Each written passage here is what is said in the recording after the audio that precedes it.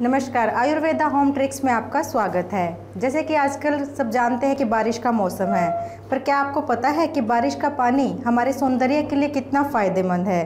तो आज हम इस वीडियो में बारिश के पानी के फ़ायदे आपको बताएँगे। इसका पहला फ़ायदा ये है कि अगर आप बारिश के पानी से अपने बालों को धोते हैं तो आपके बाल इतने स्मूथ और शाइनी हो जाते हैं कि आप खुद पर भी विश्वास नहीं कर पाएँगे। सेकेंडली, आप एक बाल्टी में या बाल्टी में या बाउल में बारिश का पानी कलेक्ट कर लीजिए और उस बारिश के पानी से आप नहाएँ। तो आप ये देखेंगे कि आपकी स्किन कितनी ग्लोइंग और चमकदार हो जाएगी। आप इसको एक बोतल में स्टोर करके रात को सोते समय उस पानी से अपने फेस को भी क्लीन कर सकते हैं। तो एक क्लिनजिंग लोशन का काम भी ये करता है।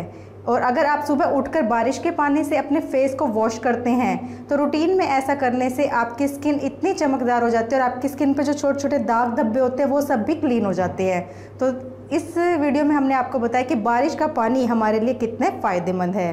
अगर आपको इस पानी से फ़ायदा लगे तो हमें कमेंट बॉक्स में ज़रूर बताएँ और हमारे चैनल को सब्सक्राइब ज़रूर करें। धन्यवाद।